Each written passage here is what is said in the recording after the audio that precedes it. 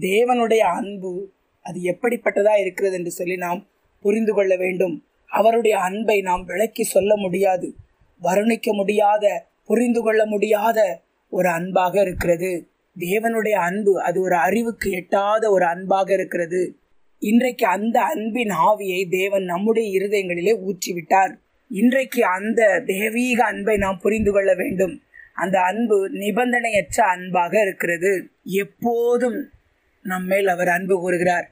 அவர் நித்திய நித்தியமாக அன்பு கூறுகிறவராக இருக்கிறார். அந்த அன்பு நித்தியமான அன்பாக இருக்கிறது. அது ஒரு நாளும் குறைவு படவே படாது.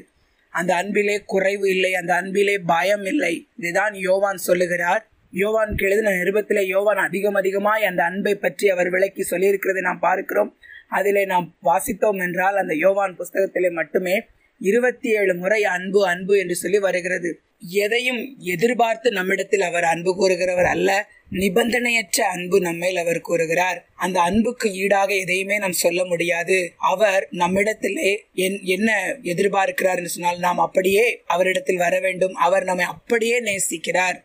அவர் நம்முடைய அன்பை ருசிக்க விரும்புகிறார். நாமும் அவருடைய அன்பை ருசித்து பார்க்க வேண்டும். ஒன்றியவான் நான்காம் அதிகாரம் எட்டிலிருந்து நாம் வசனங்களை வாசித்தால் தெரியும்.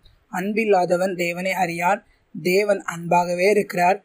தம்முடைய ஒரே பேரான குமாரனாலே நாம் பிழைக்கும்படிக்கு தேவன் அவரை இவ்வுலகத்திலே அனுப்பினதினால் தேவன் நம்மேல் வைத்து தேவன் நம்மேல் வைத்த அன்பு வெளிப்பட்டது. நாம் தேவனிடத்தில் அன்பு கூர்ந்ததினால் அல்ல. அவர் நம்மிடத்தில் அன்பு கூர்ந்து நம்முடைய பாவங்களை நிவிர்த்தி செய்கிற கிருபாதார பலியாக தம்முடைய குமாரனை அனுப்பினதுனாலே அன்பு உண்டாயிருக்கிறது. பாருங்கள் அன்பின் ஆரம்பமே இங்குதான் உண்டாயிருக்கிறது. நான் முதலில் ஆண்டவரை ஏற்றுக்கொள்வதற்கு முன்பதாக எனக்கு இந்த அன்பின் வெளிப்பாடு இல்லாதவனாக நான் இருந்தேன்.